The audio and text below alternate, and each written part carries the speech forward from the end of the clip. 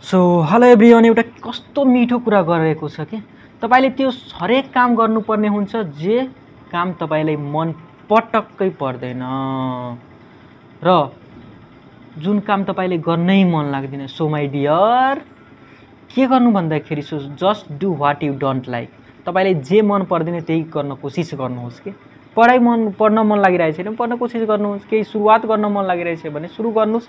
खेतमा काम गर्न मन लागेको छैन भने काम गर्न जानुहोस्। अनि तपाईँले त्यो त्यस कामबाट त्यो प्राप्त हुन्छ जुन तपाईँलाई एकदम मनपर्छ र एकदम राम्रो र उत्कृष्ट लाग्छ। सो आफूलाई मन नपर्ने काम गर्नुभयो भने के हुन्छ भन्दाखेरि त्यो तर सुरुवातमा जहिले पनि हार हुन्छ बिस्तारै बिस्तारै सजिलो हुन्छ है। So just start what you like.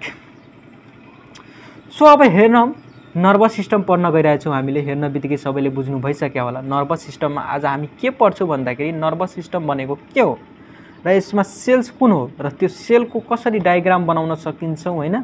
So basic structure त्यसको फङ्सन्स पढ्दै हामी अगाडि बढ्छौँ। सो ढिलो नगरिकन मैले सुरुवात गरेँ। नर्भस सिस्टममा हामीले फर्स्ट पढ पढ्ने भनेको structural and functional unit of nerve so nervous system भनेको directly link with our brain होइन? ब्रेनसँग सम्बन्धी हो सिस्टम भनेको हरेक ब्रेनको अर्गान्सहरू सेल सेल अर्गानहरू मिलेर बनेको हुन्छ। सो यसमा हामीले फर्स्टमा के पढ्छौँ भन्दाखेरि न्युरोन। सो हेर्न बित्तिकै यो न्युरोनको पिक्चर बनाएको छु इक्जाममा पनि धेरै पटक सोधिरहेको छु। सो न्युरोन भनेको के हो त? सबैले थाहा पाउनु पऱ्यो है। सो न्युरोन भनेको आफूले त डिफाइन गर्न सक्नु पऱ्यो। न्युरोन भनेर हामीले के बुझ्न सक्छौँ भन्दाखेरि the this is the fundamental unit of nervous system के हो एउटा? फन्डामेन्टल युनिट है। सबभन्दा smallest unit of nervous system which are specialise to transmit information of nervous system nervous सिस्टमको एउटा फन्डामेन्टल युनिट हो। किन स्पेस यसको काम के हो the it is it is specialise to transmit information to different parts to different parts of our body है? हाम्रो बडीको हरेक पार्टमा के हुन्छ भन्दाखेरि नर्भ्सले नै गएर के हुन्छ भन्दाखेरि जस्तै म यो यहाँ आगो छ म यो आगोमा गएर यो मेरो औँलाई एकदम यस्तो गर्छु भन्ने अथवा काँटीमा गएर घोच्छु भने के हुन्छ भन्दाखेरि हाम्रो नर्भले के गर्छ भन्दाखेरि घोचिन्छ अनि त्यो ब्रेनमा एकदम फ्याट्टै सिग्नल गएर के भन्छ भन्दाखेरि घोच्यो हात हटाउ भनेर है? सो हाम्रो हरेक बडीको हरेक पार्टमा इन्फर्मेसन ट्राभल गर्नको लागि ट्रान्समिसन गर्नको लागि कसको भूमिका हुन्छ त? नर्भस सिस्टमको है। So structural and functional unit of nervous system पनि भन्न सकिन्छ है। नर्भस सिस्टमको स्ट्रक्चरल एन्ड फङ्सनल युनिट भनेर पनि कहिलेकाहीँ सोधिदिन्छ के हो भन्दाखेरि it can also be define as the structural and functional unit of nervous system that is called neuron है। सो न्युरोन भनेको यति हामीले बुझिनु त्यो के कस्तो क्यारेक्टरिस्टिक्सहरू हुन्छ त्यो न्युरोनको पनि केही क्यारेक्टरिस्टिक्सहरू हुन्छ पक्कै। अल्सो नोन एज के हुन्छ भन्दाखेरि इरिटेबिलिटी हुन्छ इरिटेबिलिटी होइन? कहिले भाइ के के हुन्छ भन्दाखेरि केही घोच्यो भने काट्यो भने त्यो इरिटेबल हुन्छ होइन? कन्डक्टिभिटी हुन्छ एक ठाउँबाट अर्को ठाउँमा के हुन्छ भन्दाखेरि इन्फर्मेसनहरू केही सिग्नल्सहरू ट्राभल गर्ने होइन? एकदम हाई स्पेसियलाइज हुन्छ है? लिस्ट क्यापासिटी अब रिजेनेरेसन भनेको यसको रिजेनेरेसन हुने क्यापासिटी एकदम के हुन्छ भन्दाखेरि लिस्ट एकदम कम मात्रामै हुन्छ कि? त्यही भएर हाम्रो ब्रेनमा चोटपटक लाग्यो भने त्यहाँको सेलहरू ड्यामेज भयो भने के हुन्छ? त्यो रिजेनेरेटेड फेरि जस्ताको त्यस्तै बन्न सक्दैन। तर हातमा काटेको सेलहरू घाउ चोटपटकहरू फेरि के हुन्छ भन्दाखेरि निको हुन्छ र त्यहाँ सेलहरू फर्मेसन हुन्छ। त्यही भएर मान्छे कोमामा जानुको कारण पनि के हुन्छ? नर्भस सिस्टममा भएको सेलहरू once it is damage it cannot be regenerated गर्न एकदम गाह्रो हुन्छ है।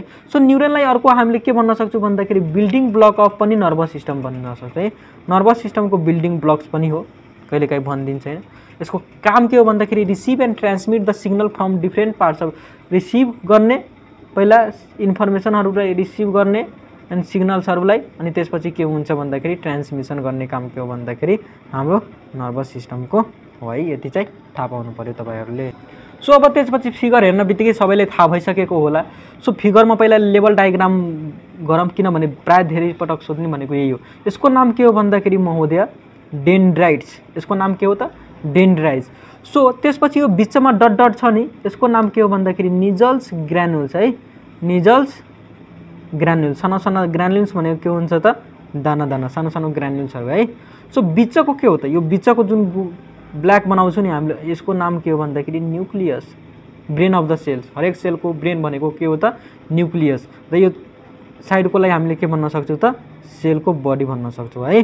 सो यसको नाम के हो भन्दाखेरि यसको नाम कुन सेल भनेर भनिन्छ त? यो एउटाको नाम के हो भन्दाखेरि यसको नाम के हो भन्दाखेरि अथवा यसको नाम हामीले के भन्न सक्छौँ त्यो साइडवाला बनाएको हुन्छ नि त्यो इँटा जस्तो। यसको नाम के हो भन्दाखेरि च्वान सेल। Schwann cell. एससिएस डब्लुएन च्वान सेल। सो यो भित्रको डन्डीलाई पाइपलाइक स्ट्रक्चरलाई हामीले के भन्न सक्छौँ त एकजन? एकजन भने के हुन्छ भन्दाखेरि डेन्डिटबाट बनेर गएको हुनालाई यसलाई हामीले के भन्छौँ? एक्जेमा है? त्यसपछि यो यो बिचकोलाई हामीले यो यसलाई हामीले च्वान सेल भनियो र यसको यो टोटललाई हामीले के भन्छौँ? यो एउटा टोटललाई एकजन भनि भनि नै हाल्यो होइन? त्यसपछि अब लास्टमा आउँ। माइलिन शीत माइलिन शीत भनेको यसको नाम के हो भन्दाखेरि एमवाइइएलआइएन माइलिन। एसएचइएटिएच माइलिन शीत बिचको च्वान सेल यो साइडवालालाई माइलिन शीत भन्यो। यो डन्डीलाई के हुन्छ भन्दाखेरि ट्युबलाइक स्ट्रक्चरलाई एकजन भनियो। त्यसपछि नोड अफ रनभियर भनेको यो दुईवटाको जोडीको बिचको पोइन्ट हुन्छ नि यसलाई के भन्न सक्छु भन्दाखेरि नोड अफ ऱ्यानभियर है? आरएएनभिआई इयर दुईवटा के हुन्छ भन्दाखेरि माइलिनसितलाई जोड्ने काम गर्छ है? सो त तलको यो एकजन टर्मिनल भन्छौँ। यसको नाम के हो भन्दाखेरि एकजन टर्मिनल अथवा यसलाई हामीले अर्को नाम के भन्न सक्छौँ भन्दाखेरि नबको इन्डिङ। है? नबको इन्डिङ भनेर पनि हामीले यसलाई भन्न सक्छौँ। यति हो डायग्राममा हामीले वेल लेभल डायग्राम भनेको यति चाहिँ गर्नै पर्छ फिगर बनाउनुहोस् टक्क होइन? गर्नै पर्छ। This is very important for your exam and everything's है सो अलिअलि डिस्कस गरिदिउँ कहिलेकाहीँ सोधिन्छ। पार्ट्स अफ न्युरोनको यो पार्ट्सहरू भयो। पार्ट्स अफ न्युरोनमा फर्स्टमा के हुन्छ भन्दाखेरि डेन्ड्राइट्स आउँछ होइन?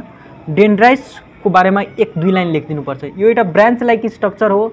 रुखको हाँगा जस्तै हो होइन? Branch like structure. यसको काम के हो भन्दाखेरि it is a branch like structure that receive यसले के गर्छ भन्दाखेरि रिसिभ गर्छ। है इट रिसिभ द म्यासेज। म्यासेजहरूलाई इन्फर्मेसनहरूलाई रिसिभ गर्ने गर्छ फ्रम अरू न्युरोन्सहरूबाट है? उदर्स न्युरोनबाट एन्ड एलो एन्ड लास्टमा के गर्छ भन्दाखेरि it and and it is allow the transmission of message to the transmission of message receive and transmission of message to सेलको हरेक बडीमा के गर्छ भन्दाखेरि यसले पहिला रिसिभ गर्छ म्यासेजलाई अनि त्यसपछि ट्रान्समिसन काम गर्ने कसको हो त? डेन्ड्रिस है? यो ब्रान्चहरू हाँगाहरू सानो सानो स्ट्रक्चरहरूले रिसिभ गर्छ अनि ट्रान्समिसन गर्ने काम गर्छ। त्यसपछि आउनुहोस् सेल बडी सेल बडीको काम के हो भन्दाखेरि हरेक न्युरोनमा सेल बडी हुन्छ। जसमा के हुन्छ यो सेल बडीको वरिपरि के हुन्छ भित्र न्युक्लियस हुन्छ होइन? हरेक हरेक न्युरोन्समा सेल बडी हुन्छ जसभित्र के हुन्छ भन्दाखेरि इन्साइड इट यसको इन्साइडमा के हुन्छ भन्दाखेरि न्युक्लियस भयो होइन? कहिलेकाहीँ गोल्गी बडी हुन्छ इन्डोप्लाज्मिक रेटिकुलम हुन्छ होइन? माइटोकोन्डिया जस्तो के हुन्छ भन्दाखेरि कम्पोनेन्ट्सहरू भित्र हुन्छ है? यसको सेल बडीको भित्र सेल बडीको के हुन्छ भन्दाखेरि यो सेल बडीको भित्रहरू हुन्छ। त्यसपछि एकजन आउनुहोस्। एकजन भनेको के हो त? एकजनलाई पनि एक दुई लाइनमा लेख्नुपर्ने हुन्छ होइन? लङ क्वेसनमा आयो भने त डिस्क्राइब गर्नु एकजना एउटा ट्युब लाइक स्ट्रक्चर हो है। यो के हुन्छ भन्दाखेरि पाइप लाइक स्ट्रक्चर हेर्नुहोस्। पाइप लाइक स्ट्रक्चर माथिबाट यसरी तल आएको छ नि यो ट्युब लाइक स्ट्रक्चरलाई हामीले के भन्न सक्छौँ त? एकजना है। एकजना एउटा ट्युब लाइक स्ट्रक्चर हो it is a tube like structure र ट्युब लाइक स्ट्रक्चर हो जसको काम के हो भन्दाखेरि it carries electrical impulses from cell body यसले के क्यारी गर्छ भन्दाखेरि इलेक्ट्रिकल इम्पल्सेस है। इलेक्ट्रिकल इम्पल्स भनेको केहीबाट घोच्यो आगोले पोल्यो होइन? सेल बडीबाट के हुन्छ भन्दाखेरि इलेक्ट्रिकल इम्पल्सेसहरू के गर्छ भन्दाखेरि पहिला बोक्छ। अनि बोकेर कहाँ गर्छ भन्दाखेरि इम्पल्सेस टु यसले के गर्छ? बोकेर and it pass to another neuron है? अर्को न्युरोनमा के गर्छ भन्दाखेरि यसले पास गर्छ। And it pass the impulses to another neuron अर्को न्युरोनमा एकजनको काम के एउटाबाट बोकेर अर्को ठाउँमा पुर्याइदिने र पुर्याउ पुर्याउ के हुन्छ भन्दाखेरि लास्टमा ब्रेनमा जाने है? सो त्यसपछि अब आउनुहोस् सिनाप्स एसवाइएनएपिएससी सिनाप्स भनेको के हो? त्यतिखेर junction point between the terminal of one neuron and dendrites Schwann भनेको यहाँ हेर्नुहोस् कहाँ भयो? सिनाप्स सिनाप्स भनेको कहाँ मैले लेखेको थिएँ भन्दाखेरि? ए यस यो तलकोलाई हामीले सिनाप्सिस भन्न सक्छौँ है? सिनाप्सिस सो सि सिनाप्स भनेको के हो? सिनाप्स भनेको it is the junction between जोड हो क्या?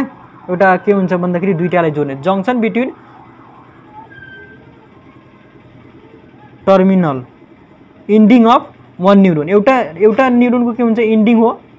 टर्मिनल अफ वान एउटा न्युरोनको के हुन्छ? इन्डिङ एन्ड डेन्ड्राइट्स यहाँ तल के हुन्छ? अर्को फेरि न्युरोन आउँछ। एन्ड डेन्ड्राइट्स डेन्ड्राइट्सको के हुन्छ भन्दाखेरि? जङ्सन पोइन्ट नर्भ इन्डिङ र डेन्ड्राइट्सको बिचको जङ्सन पोइन्ट हुन्छ नि? त्यसलाई हामीले सिनाप्स भन्छौँ है। सो यति कुरा हामीले लेख्नुपर्ने हुन्छ। इट इज भेरी इम्पोर्टेन्ट त्यसपछि के हुन्छ भन्दाखेरि? न्युरोनको टाइप्सहरू पढ्छौँ हामीले। सेन्सरी र मोटर न्युरोन्सहरू यो यति होइन। आजको लागि यति गरौँ। भिडियोहरू लङ नबनाऊँ। र के टपिक्स चाहियो just comment here I will make the video and thank you for watching this video all just move ahead and try to do what you like so केही केही सानो परिवर्तन लाइफमा गर्दै जानुहोस्। अगाडि बढ्दै जानुहोस्। Will meet again in next video thank you for watching this video okay see bye